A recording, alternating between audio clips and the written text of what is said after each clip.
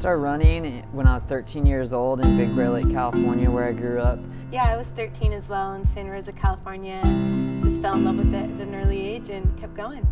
This is my eighth year as a professional athlete, and um, I've been able to uh, win the gold medal at the Pan American Games and win some national championships. And it's awesome to get to represent the U.S. on the biggest world stages and still feel like I have some unfinished business in my career, so it's been fun to keep going after it. Some of the highlights of my career, you know, making two Olympic teams was huge, huge highlight for me. Um, setting an American record in the half marathon was also a, a, very special day for me. But same way, I'm 31 years old and I still feel like the best is yet to come.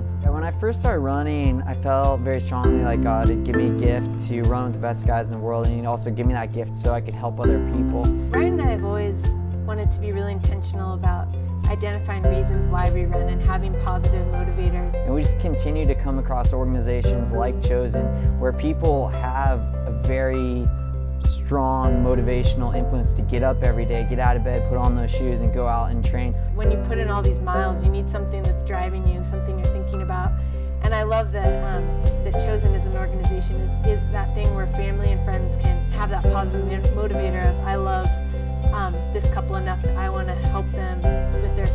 It enables a lot of people to get involved with someone that they know who may be adopting and to support them. Not only support them financially, but also to support them like, I'm, hey, I'm on this journey with you. I'm actually training for this race and I'm gonna actually show up and compete in this event as my sign of, hey, I'm in this with you. I'm supporting you through this whole adoption process. Um, so that's why I'm, I'm so stoked about the model that Chosen set up. For me, sometimes as a professional athlete, you put in all this training, you do everything right, you eat right, you're very disciplined, and then you get to the end of the race and for some reason things didn't click and you didn't get the result you want. But the great thing about racing for someone else's victory, as you can do with Chosen, is that no matter what, no matter how you feel, no matter what your time is, no matter what place you get, you have the same impact into that race at that finish line.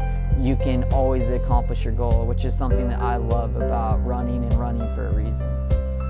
We're really excited to be uh, partnering with Chosen and to be a part of the excitement that Chosen is generating and to see the impact it's making for these families being able to, to bring kids home into their families we look forward to hopefully seen them expand to, to areas where we are and get to hopefully